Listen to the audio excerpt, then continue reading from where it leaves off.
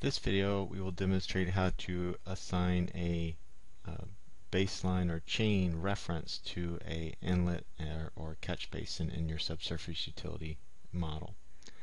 Um, so one of the things that we can do in OpenRoads Designer uh, Connect Edition inside the subsurface utilities tools is I can um, I can select a, a particular uh, structure and if I look at its properties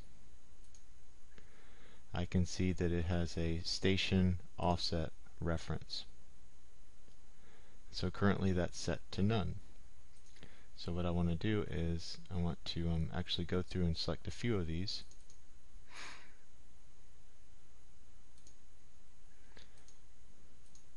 So here are my nodes. I'm going to select um,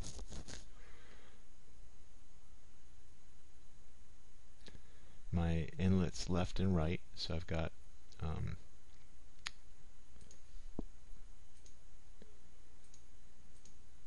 several here. And then my um, junctions as well. So go ahead and select those. and I want to set those based on this uh, centerline alignment called Geom BL2.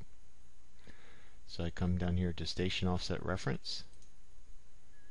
I click on the um, in the in the field that right now says varies. Click on the three dots. Select the reference,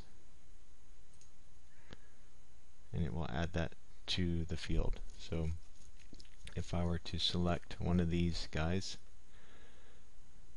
you can see it's set to Geom BL2 and if I were to open up its utility properties